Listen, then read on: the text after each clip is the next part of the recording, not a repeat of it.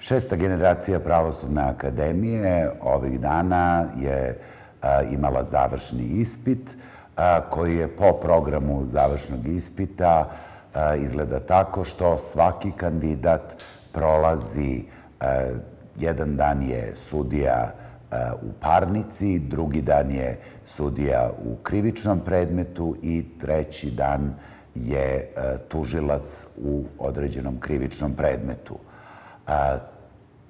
svi su mogli da vide javno preko interneta, da vide kako taj završni ispit izgleda i to je po prvi put da mi izlazimo, da kažem, u direktnom prenosu.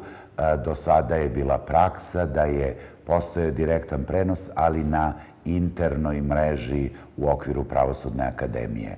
Pravosudna akademija je napravila taj još jedan korak, u pravcu što veće transparentnosti i e, svi su imali priliku e, da to vide.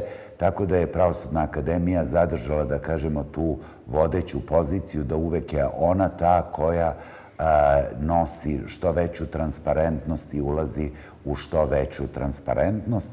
Tako da i ostale institucije onda koristeći naša iskustva, oni kreću u taj postupak.